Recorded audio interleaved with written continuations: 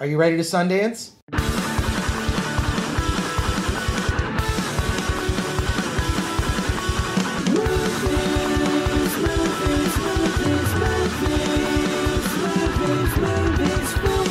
Welcome to the Film Threat Podcast. I am Chris Gore, joined as always by Anthony Ray Bench. And this is this is a very special episode of the Film Threat Podcast. We were in Park City, Utah for the Sundance Film Festival, and I'm joined by well, the whole team is out here. We've got we've got eight people from Film Threat that have made their way here. Our video team, and then we've also got, of course, Norman Gidney. Say hello, Norm. Boo. it's me, Norm, from Horror Buzz. Norm Gidney from uh, Horror Buzz. I- i- If you read horrorbuzz.com or if you read filmthreat.com, you'll read his reviews. And of course, we're also joined by Dante James. Dante James, also part of the West Coast group here for Film Threat. We're here uh, at the Sundance Film Festival, and this is for Anthony and I. It's the second time Anthony's gone. I'm Round two. round two, and then for Norm and Dante, your first time. Very first time. And, and w- so far, the experience. So c- cold. This is t-shirt weather for me. No, no kidding. It's actually it's actually nice. It's nice. I'm literally in a t-shirt. Well, I mean, so far, I mean, we just got here, so we haven't seen much of the festival yet, but uh, we're all excited about it.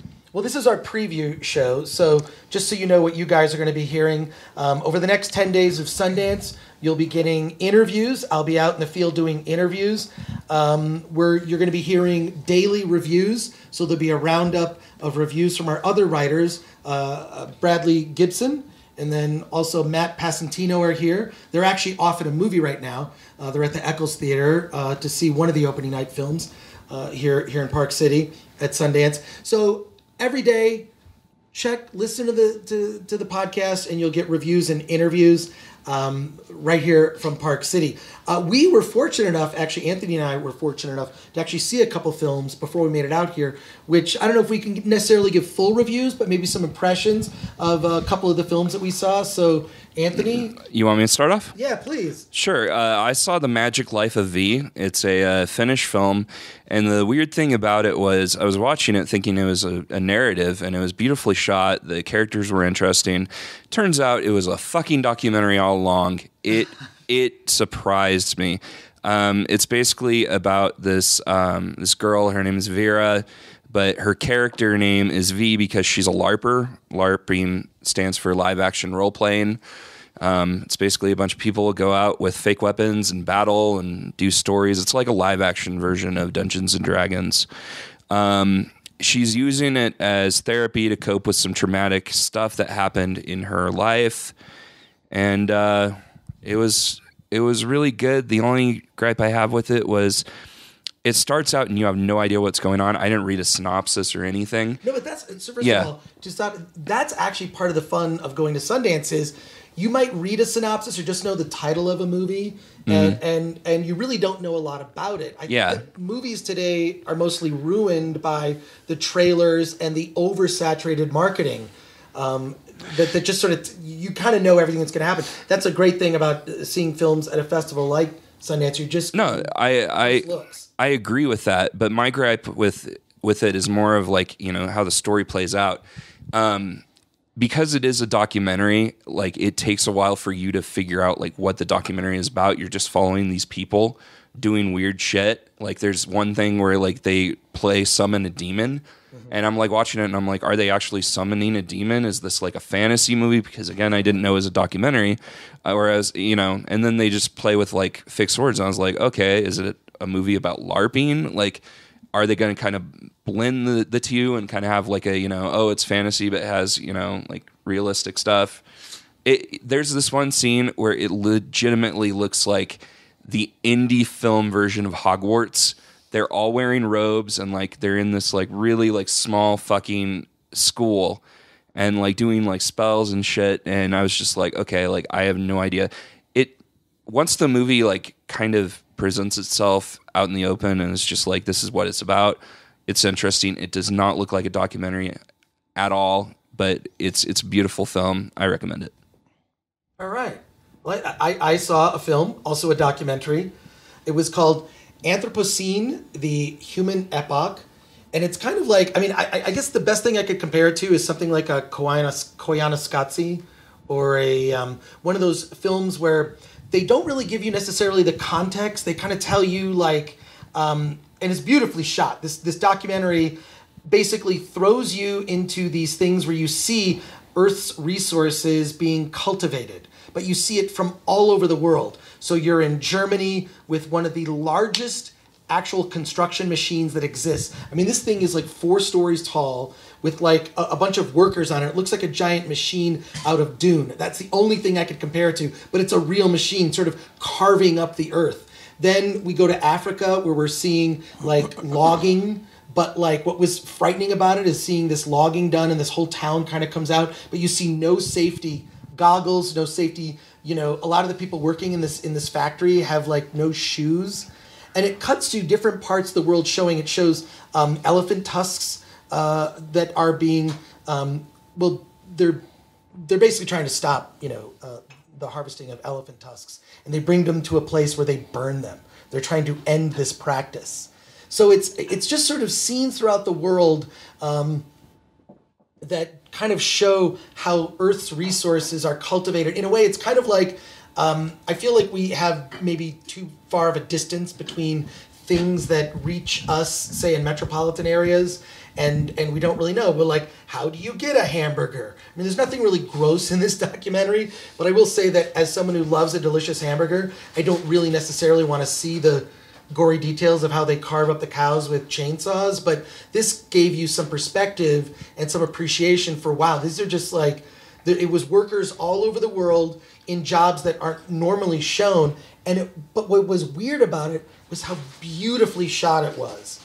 It was just it was amazing, and it's it's um it's from Canada, and it was it was uh, it was I, I, I don't know just the people that put this together really put. I mean, it, it does have a, a screenwriter, Jennifer Baichwal, and it it so there's there's something about like the way that they put it together. It's hypnotic it's it's like one of those. You ever go see IMAX movies? I just saw one um, called Volcanoes 3D. That's all about volcanoes, and and I don't know. I just I love those IMAX movies that are just about nature, and you just like get a glimpse into something. And that's kind of what this documentary was about. It just gave you some some a glimpse into a kind of uh, uh, things that we don't necessarily see about how the Earth's resources are cultivated and utilized. So, well, I want a hamburger now, and I also want a chainsaw so I can chainsaw some cows. That sounds like fun. but I think, I, think, I think it'd be really interesting because I do think that the crowd at Sundance, uh, you know, tends to be, it's a, you know, it's it's it's intelligentsia, right? The intellectual crowd. I don't know. That, yeah, they're, they're not going to turn up as as Sundance. We're right, pretentious right. as fuck. No, no, no, but no, but what I mean is, is that they'll get a glimpse into seeing a lot of how this, like, I mean, I actually worked in a couple factories when I lived in Detroit. Like, it, I was doing temp work, and the temp agency would send me to stuff, and it was horrible. I only did this for like six months but just I just didn't have a job. Was it like all the jungle and like were you sweeping in trails and stuff? No, no, not that bad. I didn't work anywhere like in food processing, but I worked at like this photographic plant that worked that um, did work for the main auto companies. So um, just I, I, don't know. Just sometimes when I, uh, I'll talk to someone, it's like, oh, you don't even know anybody who's ever worked in a factory or, or done like hard labor, or and this kind of gives you this glimpse into it. I almost think that the movie is too beautiful. Like it's so pretty but I, I, would highly recommend seeing it, um, especially if you're here at Sundance and listening to this podcast. Now, we haven't seen films yet. I mean, it is the first day of Sundance, but we're all looking forward to movies. So I want to ask you, Norm, what are you most looking forward to seeing at Sundance? Uh, the Nightingale. The, oh, yeah. Okay. Yes. Okay. this is the. This is. Uh, Jen- Jennifer Kent. Yeah, it's yeah, it's it's her follow up to the Babadook. Now, oh, nice. Full disclosure, I hated the Babadook. Really? Wait, how did you hate the Babadook? Let let me let me be clear. It's a damn good movie, but I hated that motherfucking kid. oh, the kid. And you're supposed to hate. Mm, you know, there's there's a point when you've put the audience to, through like a little too much, and and and uh, you know I was like, okay, I'm done with this child, and then the movie flips, and then it becomes tolerable again. But you know, regardless, that movie is damn good. I did not like it, and I'm comfortable saying it.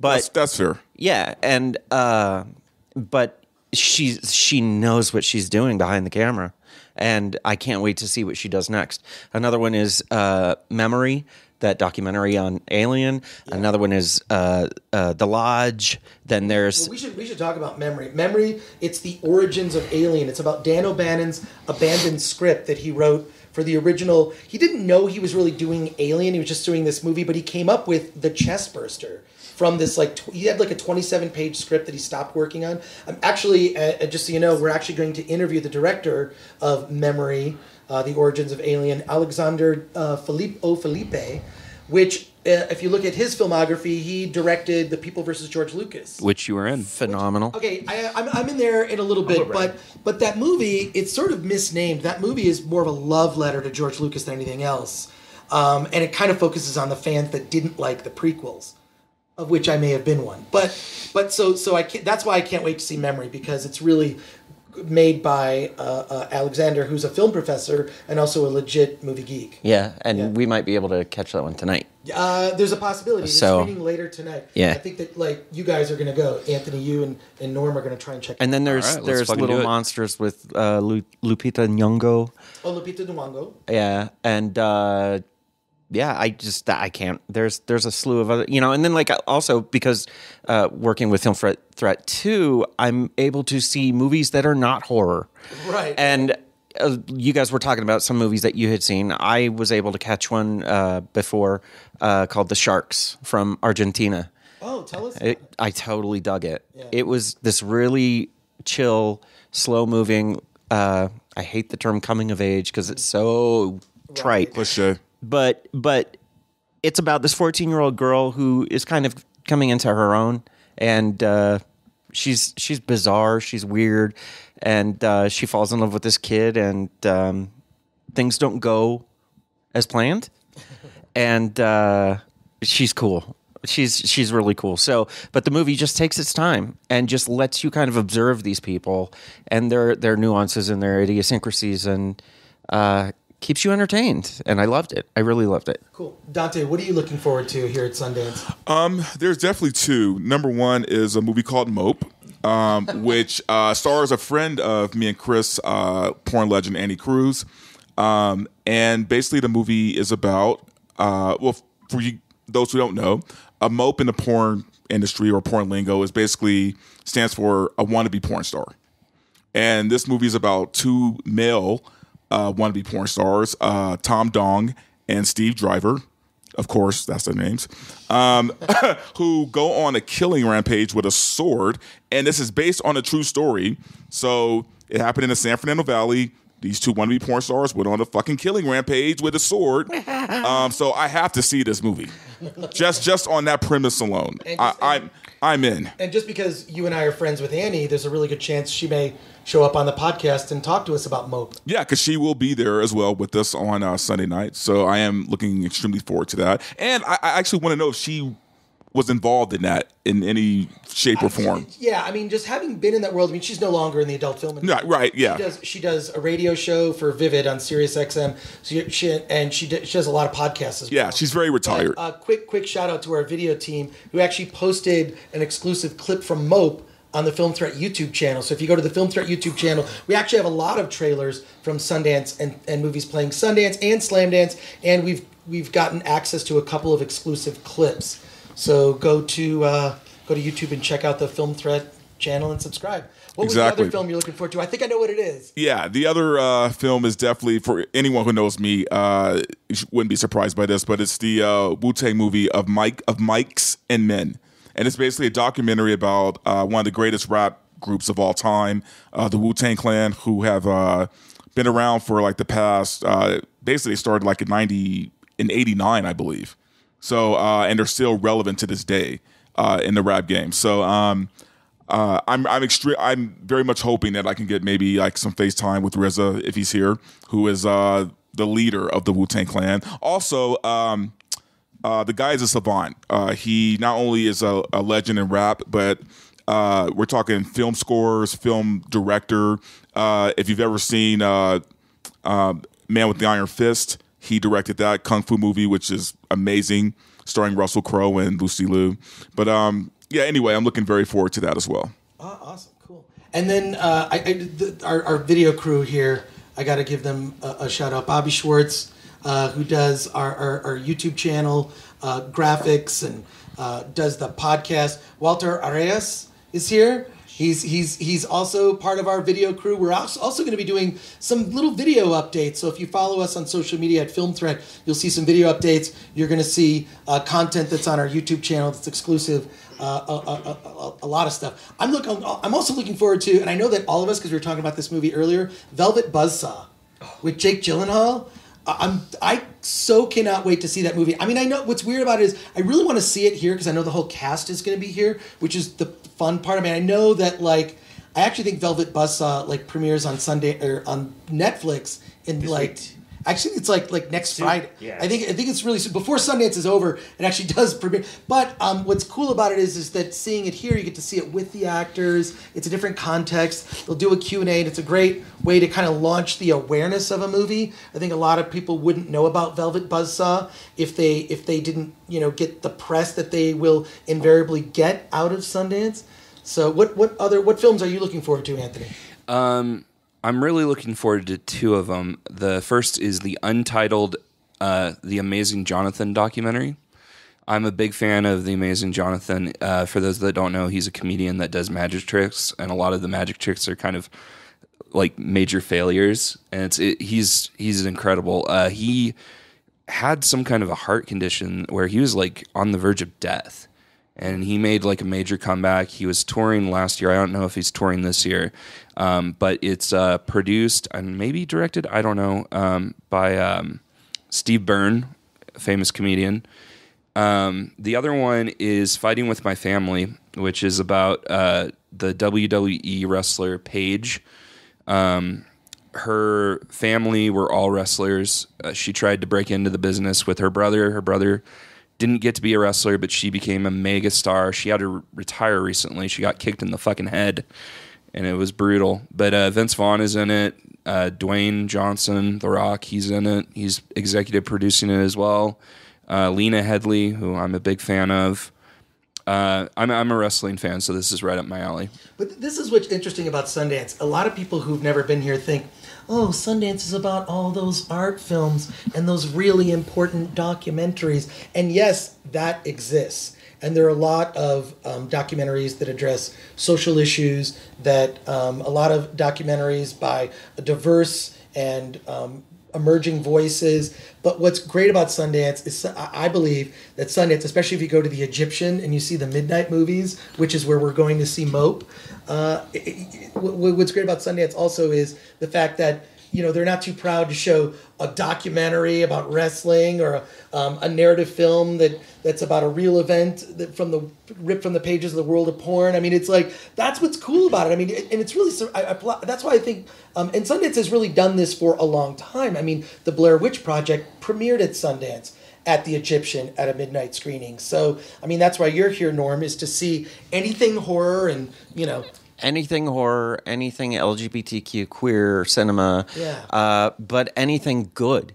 I mean, well, yeah. because Yeah. to me, to me, uh, or anything not so good. It's so much.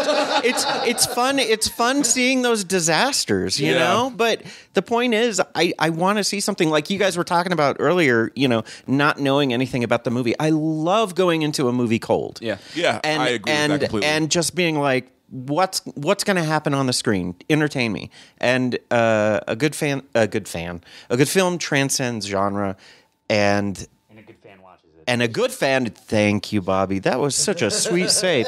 Uh, but but he's a good boy. But but uh, no you know just to entertain me and try. And i can't wait to see what's out there. And then that that really is is like the the sense of surprise and discovery is really what comes up. Sundance really sort of uh, being the first film festival, first major film festival in the calendar year, kind of sets the tone for the rest of the year. A lot of a lot of film festival directors come here, and then they they, I mean, festival directors come here to program their festivals in you know other parts of the country. Sort of you know your smaller mid-level festivals they're here seeking out movies to play their festival say you know in, in april may or june whatever. They're, they're all here to check that stuff out. So um, we, we hope that you'll like stick with us and and check out the podcast on a daily basis. You're, we're gonna have surprises. We're probably gonna have Annie Cruz, maybe some of the other cast members from Mope. Uh, we'll definitely be talking to some other filmmakers and directors. Uh, we are going to discover some movies. Uh, so we hope you'll stick with us. A- a- any any parting thoughts on our, our uh, Sundance 2019 preview festival uh, festival preview? I'm uh I'm just excited. I'm excited. It's my first time. I've been wanting to come to Sundance for years now, and uh, I'm finally here. And uh, I just want to milk it. I just want to see everything, do everything, and, and, and you also want a computer that works. yes, uh, I've been having some issues, but Don't uh, give them a shout out. Don't- There's a there's a there's a there, there's a certain brand I'm not going to mention. That's just that's just shite. And uh, anyway, Dude, you're getting a piece of shit.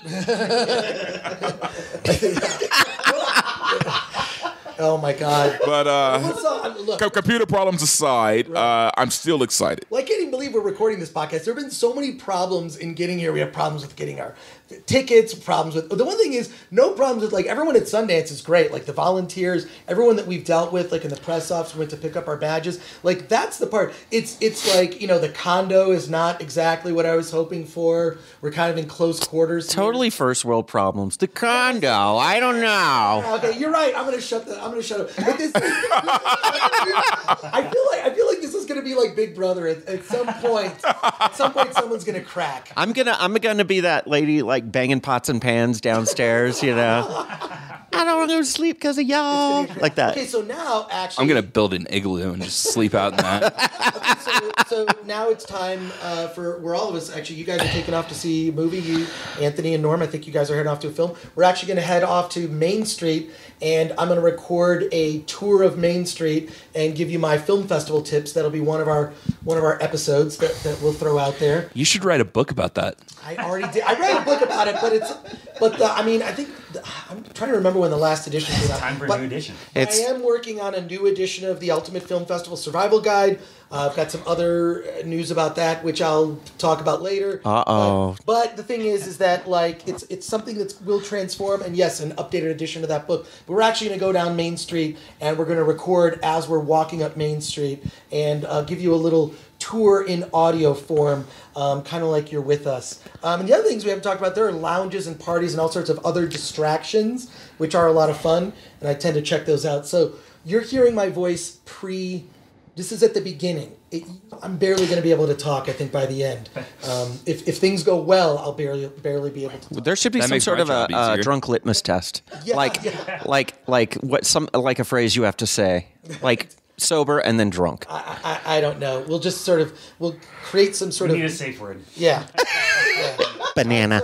Okay, so uh, thanks for listening. We're Film Threat on everything. Um, listen to the podcast every day from the Sundance Film Festival. We'll also be doing special reports from Slamdance. And everyone, let's let's get out of here. Yeah. Out of here.